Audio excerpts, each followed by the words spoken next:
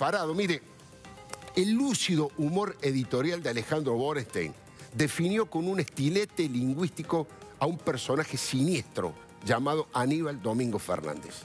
En su columna, el, el heredero de Tato Bores, en todo el sentido de la palabra heredero, escribió que Aníbal es el mejor de todos a la hora de arruinar al peronismo. Y luego se preguntó, chicanero, ¿cuántos ceros tendrá el cheque que Jaime Durán Barba le pasa a Aníbal por semejante ayuda?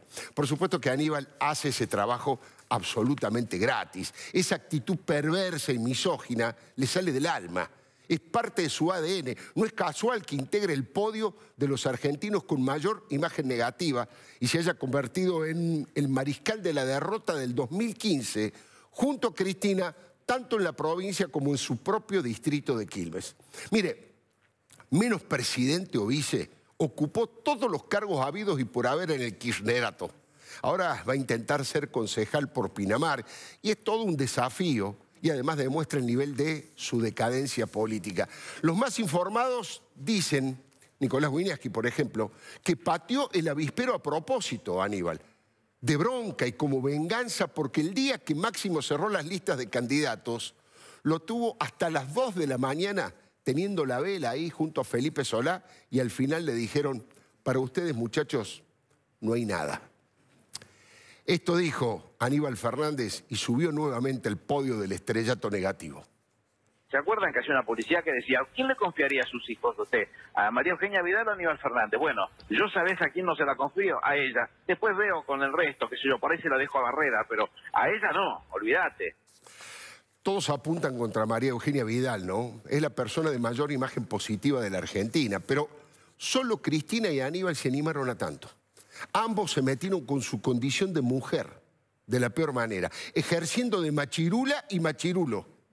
Todavía no ocurrió, pero estoy seguro, me imagino que en las próximas horas habrá algún comunicado repudiando esto por parte del colectivo de mujeres que organiza la extraordinaria marcha del Ni Una Menos.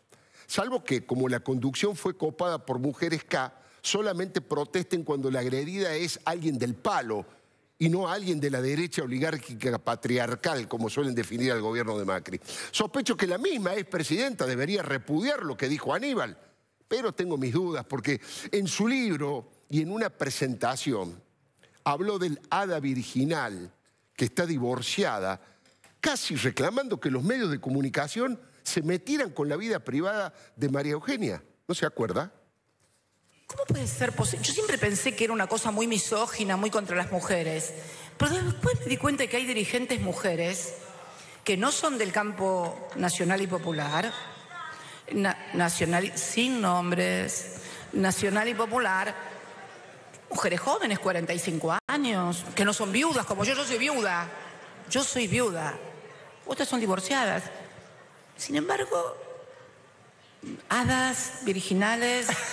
Y yo digo, qué suerte que tienen algunas mujeres que, bueno, que nadie se mete con su vida privada. A lo mejor son en serio virginales, angelicales y hadas, y ya se saben. Eh, las hadas y las vírgenes no tienen novio y los ángeles ni siquiera sexo. Bueno, un verdadero despropósito de Cristina que no se le escapó de casualidad en una charla de café. Está escrito en su libro, porque ahí dice, nombres no, dice. Sin embargo, en la página 45 de su libro, dice lo siguiente, la expresidenta de la Nación, actual senadora por la minoría en la provincia de Buenos Aires. Ahí está, María Eugenia Vidal, una mujer muy joven de 45 años y divorciada. Prácticamente ha repetido en esta presentación lo que escribió, insisto, en la página 45 de su, de su libro. Ahora Cristina tiene la gran oportunidad de pedir disculpas por lo que dijo ella y por lo que dijo Aníbal, que es mucho más grave. Existe un ejercicio, mire, vamos a hacerlo juntos, para comprobar la profundidad de la violencia verbal ejercida. Consiste en cambiar los protagonistas. Supongamos que Mauricio Macri o Rogelio Frigerio hubieran dicho que prefieren dejar a sus hijos con Ricardo Barrera antes que con Cristina. Eh, ¿Se imagina usted el escándalo nacional que se hubiera armado? Los artistas acá movilizando a la Plaza de Mayo, por lo menos, por lo menos. Y la cámpora, bueno, la cámpora se quedaría calladita porque tiene la cola muy sucia.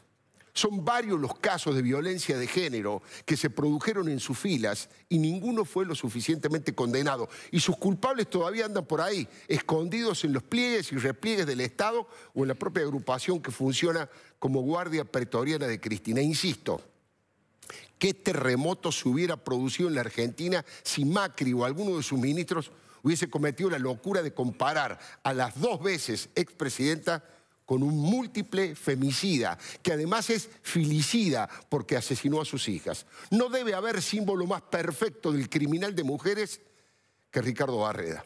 Ahora, ¿se armó esa protesta colectiva para castigar socialmente a Aníbal? Y no, la verdad que no.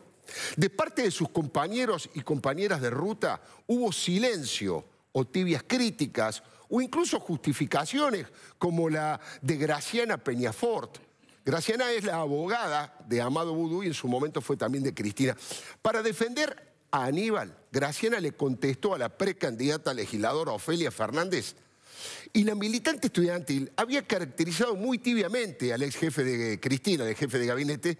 ¿Qué dijo Ofelia? Es un salame. Podemos ver el tuit, lo dice al final de su tuit, lo caracteriza de salame. Mire, para mí, decirle a una persona salame fue casi un elogio para Aníbal. Salame, ¿qué significa? Es un tonto. Y Aníbal no tiene un pelo de sonso. Mira, hasta la propia Iglesia Católica militó en su contra en el 2015. Es que las parroquias tenían órdenes de frenar todo lo que tuviera tufillo a narcotráfico y a triple crimen. Pero la doctora Peñafort no le pareció suave el mote de salame y salió en defensa con un lenguaje mucho más soez y chabacano. Dijo, dijo Graciana, los propios y ajenos me tienen las bolas al plato con discutir lo que dijo Aníbal. Lo que dijo es una pelotudez, ahí estamos viendo su tuit. Una pelotudez que con un eufemismo se podría traducir a expresión desafortunada. Aníbal, dijo Peñafort, no es ningún imbécil, no es ningún imbécil. Es alguien que se equivocó. Hasta ahí lo que dijo la defensora de Amado Vudú. Pregunta chicanera de mi parte, si me permite. ¿Y Vudú también se equivocó al robarse la fábrica de billetes? Tema porque ya tiene condena firme por la justicia. ¿Es machirulo Vudú por haberle pirateado la mitad de su auto a su esposa cuando se divorció? Por otro lado, pobre Ofelia, ¿no? Se llama justo como la madre de Cristina y tiene el apellido del padre de Cristina le tiró casi una caricia a Aníbal y fue ella la que recibió los repudios. Además de Peñafort, la senadora provincial K, María Teresa García, fue bien a fondo. ¿eh? Escuche bien, por favor, porque no tiene desperdicio. García escribió lo siguiente, le aclaro que ya lo borró, pero por supuesto que tenemos la captura de pantalla. Ya lo borró María Teresa García.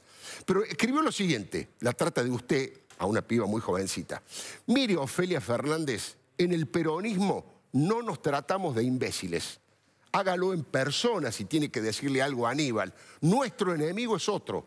Yo sé que a usted Perón no la completa, pero hágase un favor, milite. No tiene desperdicio, ¿no? Primero una verdad medias. Es verdad que en el peronismo no se tratan de imbéciles ni de salames. Directamente se tratan de fachos asquerosos o de montos faloperos o de asesinos en los casos de López Rega y la AAA y de los que acribillaron a José Ignacio Rucci, uno de los mejores amigos de Perón, tal vez porque Perón tampoco los completaba. El preso por corrupción Julio Devido, desde la cárcel y como candidato a diputado de un nazi, fue por el mismo lado. Cristina lo dejó afuera de todo. Jamás dijo una palabra solidaria sobre don Julio Devido, pero él aseguró, a nosotros Perón sí nos completa.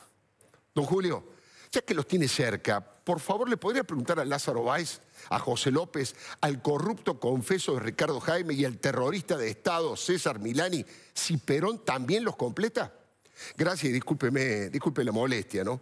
Ahora, pobre Ofelia Fernández, que está debutando en las grandes ligas, candidata a legisladora, fue más castigada por sus propios compañeros cristinistas que Aníbal. La castigaron más a ella. La experta en leyes, Peñafort, dijo que Aníbal apenas es alguien que se equivocó.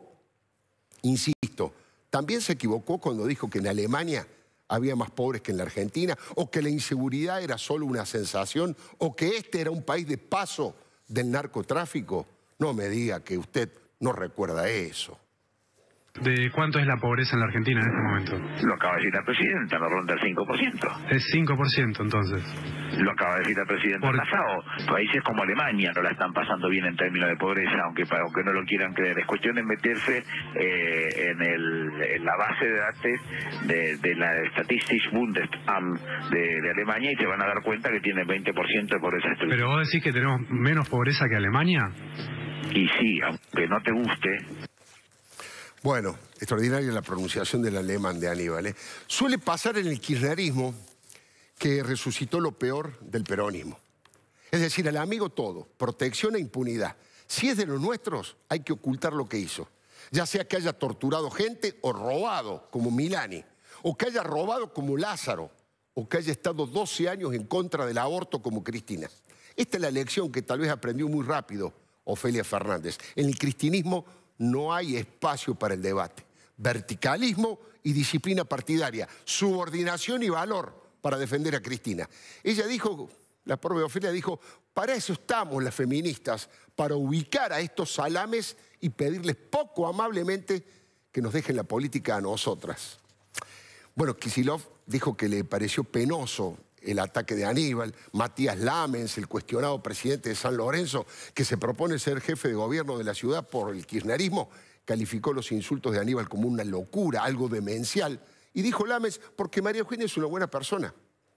Y Facundo Moyano dijo que Aníbal dañó la excelente campaña de Kisilov. La gran novedad es que reapareció con fuerza el fantasma piantavotos de Aníbal cuando Macri y Vidal más lo necesitaban. Puso las cosas en claro. Hay que elegir entre Vidal o Barreda. Cristina y Alberto no dijeron una sola palabra. Aníbal eligió a Barreda. Le pregunto a usted, señor televidente, señora televidenta, ¿usted quién elige? ¿A María Eugenia Vidal o a Barrera? Pero bueno, le voy a contar algo más respecto de Cristina y de Alberto. En este libro, perdón por el autobombo, pero es en este libro, Juicio y Castigo, que está, por suerte, segundo en venta después del de Cristina. En la página 43 de este libro, lo pueden buscar, hay una columna titulada Cristina es Maduro. Y hoy no me queda otra que reafirmar esa definición política y aportar más datos todavía. Es que Cristina se tiró un misil en los pies, con ese tono cheto y sobreactuado que mezcla palabras en inglés con mentiras cereales, cereales. Dijo algo antológico. Sorry, con la comida hoy estamos igual que Venezuela. Frivolidad pura. Si producimos eh, eh, alimentos para 400 millones de personas, no podemos tener argentinos con problemas de hambre. Vos fíjate que no lo digo yo, lo dice la FAO. Fíjate, nos marca a Guatemala, a Venezuela y a nosotros, Argentina, Venezuela y Argentina. ¿Se acuerdan que si nosotros seguíamos nos íbamos a parecer a Venezuela? Bueno, sorry. Eh, hoy, con la comida, estamos igual que Venezuela. Sorry, sorry, doctora. Bad information, ¿eh? Cristina, pregunto, dijo semejante falsedad que en alimentación estamos igual que Venezuela. ¿Por ignorancia? ¿Por fanatismo? ¿Por frivolidad? ¿O por todo eso junto? Los exiliados venezolanos en la Argentina le saltaron a la yugular. Una jovencita grabó un video donde le pregunta, señora Cristina, si se la puede llamar así, ¿cómo se atreve a burlarse del sufrimiento de millones de venezolanos? De inmediato se viralizó un hashtag que decía, señora Cristina, le cuento que, mientras se detallaba la brutal crisis humanitaria que está viviendo Venezuela, y le invitaban a que recorriera el país y que se atreviera a darle su apoyo público a Nicolás Maduro. Por las redes le contaron a Cristina, sorry nuevamente, doctora, que con un salario mínimo en Venezuela se pueden comprar 4 litros de leche, con un salario mínimo, y en la Argentina se pueden comprar 297 litros de leche, o que desde el 2017 se mueren 5 chicos de hambre por semana, y que el 64% de los venezolanos bajó 11 kilos de peso con la dieta macabra del chavismo. Muchos de los pibes, de los jóvenes, le pidieron que no banalizara ni minimizara la emergencia que vive el país en una crisis que usted, señora, fue cómplice. Este es el raconto de los jóvenes venezolanos. Bueno, sorry. Eh, hoy, con la comida estamos igual que Venezuela.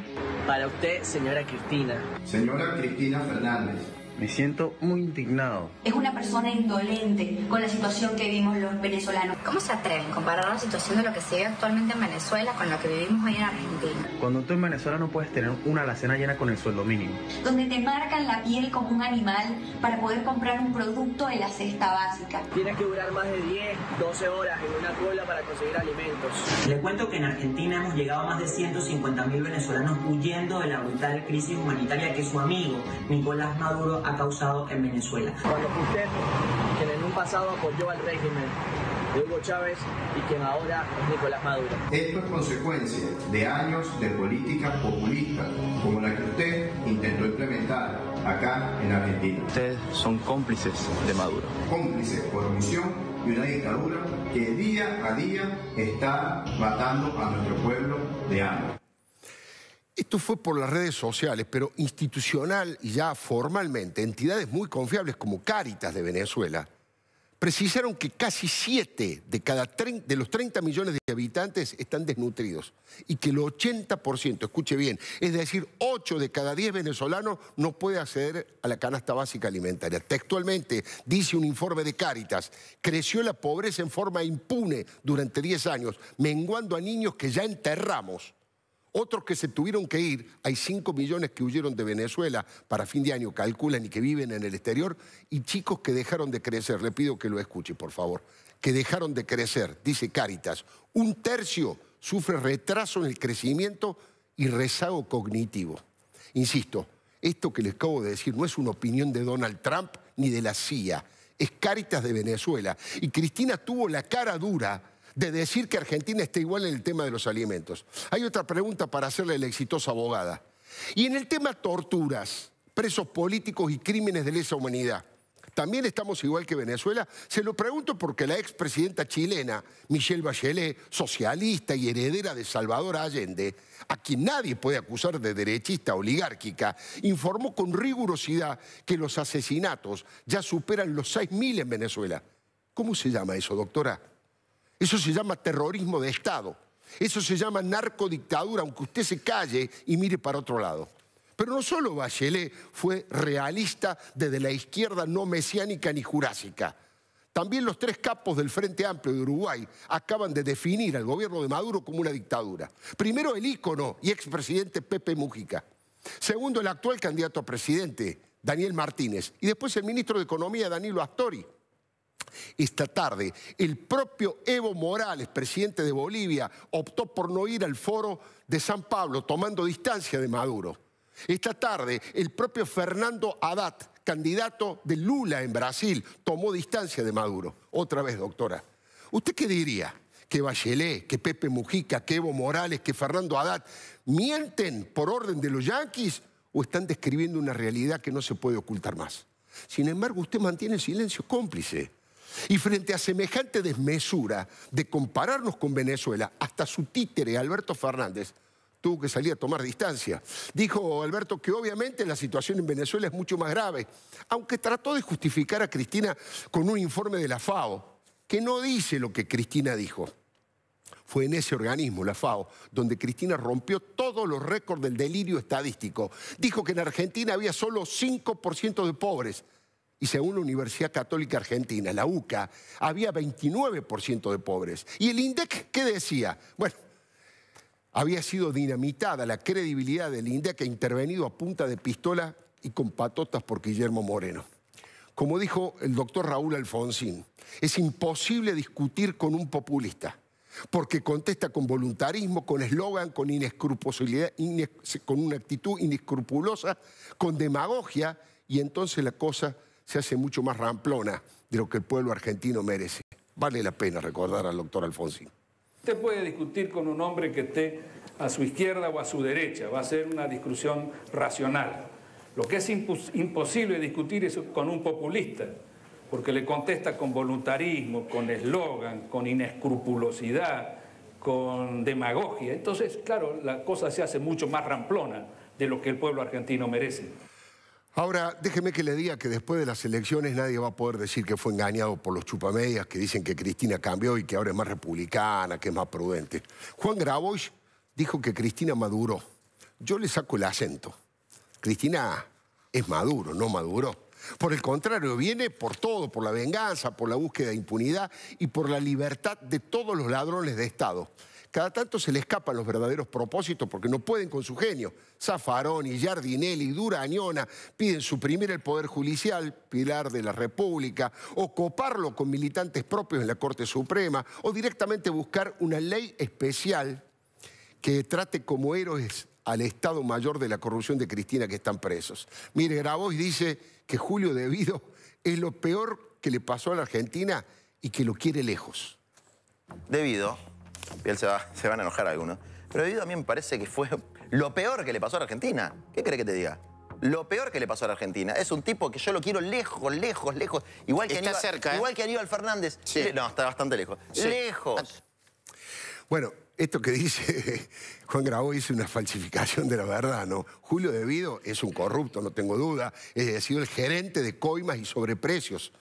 Pero no lo hizo solo para su enriquecimiento personal. Robó toda su vida, desde Río Gallegos, para la corona de la reina Cristina y su fallecido esposo Néstor. Ahora, ¿quién puede creer que la montaña colosal de dinero que saquearon mediante una asociación ilícita fue solo responsabilidad de don Julio? Pobre don Julio. Cristina ni lo saluda y encima lo obligó a ir como candidato a diputado desde la cárcel, insisto, por la lista de un nazi como Santiago Cuño. Mire, el autoritarismo patotero le sale por todos lados, les explota cotidianamente, con un gil a cuadros llamado Claudio Turi en Córdoba insultando al presidente Macri, igual que sus coterreños en Suiza, engañando en su buena fe al jefe de Estado, o con Alberto Fernández tratando de producir una corrida del dólar para romper la estabilidad cambiaria, algo que va a explicar en detalle enseguida el profesor Martín Tetaz en un rato nomás, o Raúl Rizzo asegurando que viene una guerra civil si gana Macri.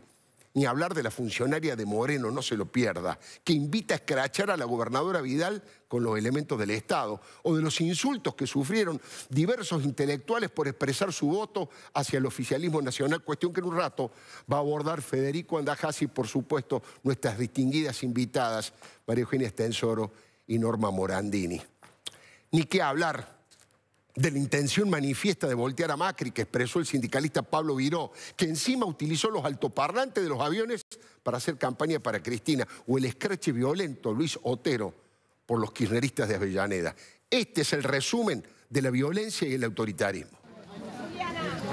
Ahí está. Gila Cuadros, le digo yo. En cordobés le digo, Gila Cuadros. A este que fue a insultar al presidente Macri, que tenía una cena con Schiaretti. Bueno, están los otros dos pícaros que viven en Suiza y que se abusan de la, de la generosidad del presidente que para su auto para saludarlos. ¡Viva Perón, Macri! Y por otro lado les cuento que el que, que quiere hacerle algún Esta es la escracho funcionaria de Moreno. Vidal, Escúchela. que quieran ir con carteles o pancartas este, pueden hacerlo. Estamos organizando ahí una movida medio con algunos compañeros para llevar incomodarla. Yo te escuché decir o interpreté algo así, como que si ganaba Macri había riesgo de una guerra civil. ¿Es así esto o no? Y mirá, eh, eh, sí, sí, sí, sí, tal cual. Yo me pongo como padre, no tengo para comprarle comida, leche, lo, básico a mi hijo. ¿Qué va a pasar con ese hombre y esa mujer? ¿Estallan? Este vergonzoso ataque de los kirchneristas de Avellaneda contra ex compañero Luis Otero de este canal y de esta, de esta de este canal de televisión que ahora es candidato a intendente de Avellaneda por Cambiemos. Así lo trataban y lo agredían. Y esto, por supuesto, lo que ha generado un asombro internacional, ¿no? Los altoparlantes, mientras tienen de rehenes a los pasajeros, le baja en línea en contra, en contra de, del presidente Macri y a favor de Cristina. Y ahí está Pablo Viró. Y dejemos de chupar p... Bueno, grosero. Volteémoslo, dice. La verdad que a la hora de la verdad, cuando hay que elegir, Cristina mostró su verdadero pensamiento. Quedó del lado de la violación a los derechos humanos con presos políticos, de la censura feroz a los medios de comunicación, de la miseria con falta de comida y medicamentos, inflación estratosférica, corrupción descontrolada y del lado de una dictadura militar y narco que sostiene a un títere que está tan podrido que se cae de Maduro. De hecho, cuando los K estuvieron en el poder, las relaciones carnales que establecieron con Venezuela fueron muy intensas y por supuesto sazonadas con negocios sucios y delictivos de todo tipo. Es un régimen típico del pasado estalinista donde está prohibido pensar distinto, o mejor dicho, está prohibido pensar. Mire, por lo menos en mi caso, nunca vamos a olvidar lo que el chavismo y el kirchnerismo hicieron para estafar a ambos pueblos. Préstamos de dinero a tasas del 15% que nos perjudicaron muchísimo. Bicicletas con el dólar en el mercado negro. La valija de dólares sucios de Antonini Wilson que llegó para la campaña de Cristina. Los negociados de Julio Debido con el tema del petróleo. Los barcos que nadie sabe cuánto fueron y cuánto nos costaron. Y las coimas que hubo que pagar con la maquinaria agrícola. ¿Se acuerda usted de la embajada paralela de los negociados? Bueno, la encabezó Claudio Uberti. Hoy está arrepentido Uberti. Néstor Kirchner y Hugo Chávez quisieron quedar en la historia como San Martín y Bolívar, como los próceres de la patria grande.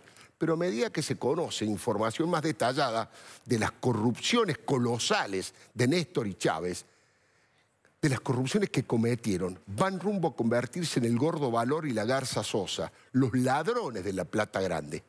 Los presuntos libertadores de América en realidad se hicieron millonarios como los estafadores de América, porque se quedaron con mucho dinero de los argentinos y los venezolanos más pobres. Y como si esto fuera poco, entre el chavismo y el kirchnerismo, construyeron un puente de plata en el más amplio sentido de la palabra plata con Irán. Mire, ¿cuál es mi propuesta? La rebeldía pacífica siempre sana.